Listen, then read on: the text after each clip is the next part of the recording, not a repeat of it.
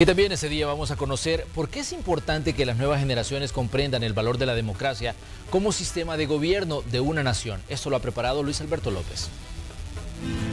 En octubre de 1979 se dio el golpe de Estado que puso fin a décadas de dictadura militar en El Salvador.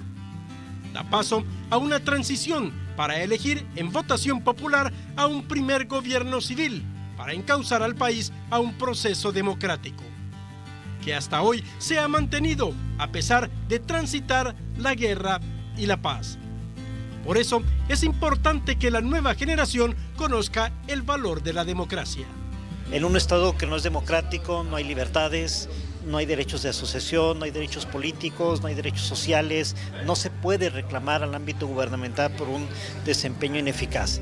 Es por eso que hay que valorar la democracia que tenemos. Y creo que ahora nuestras generaciones debemos eh, conocer eso para poder apreciar por qué estamos ahora acá, por qué tenemos espacios de participación eh, más abiertos, eh, por qué nos podemos expresar sin temor a ser encarcelados o a ser desaparecidos. Es una democracia sumamente joven, son casi 30 años de tenerla y es algo que se tiene que trabajar todos los días. La democracia, claro que está en riesgo, como la libertad está en riesgo todos los días, pero si nosotros la trabajamos y construimos para fortalecerla, más allá de un periodo electoral, ahí es donde podemos salvar la democracia.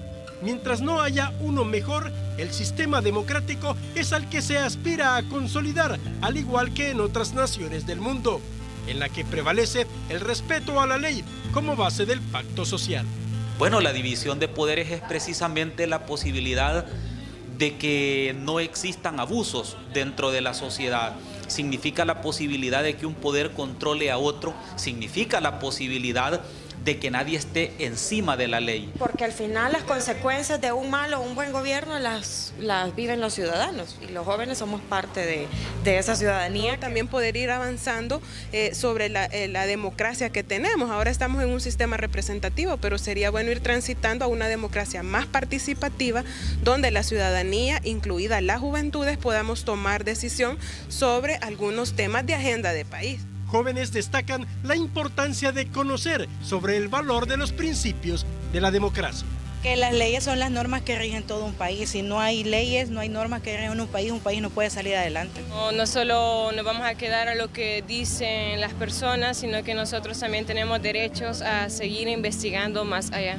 Si yo no conozco acerca de un tema, cualquiera va a venir y va a dominar mis pensamientos. Mi palabra eh, me van a tratar de persuadir y convencer y eso qué va a ser ignorancia, creando ignorancia en mí y no voy a conocer acerca de lo que quieren hacer con nosotros hoy nuestro pueblo.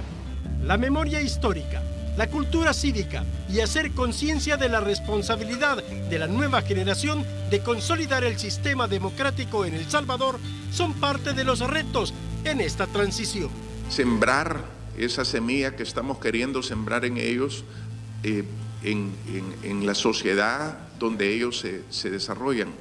Y eso va a ir transformando poco a poco la forma en cómo la gente eh, piensa que la cultura de los jóvenes esté cambiando no ha eh, cambiado el sistema democrático del Salvador. Por ejemplo, las instituciones siguen siendo las mismas, las formas de acceder al poder siguen siendo las mismas. Eh, los jóvenes sí deben de interesarse por este tipo de temas, porque tarde o temprano ellos van a ser los tomadores de decisiones.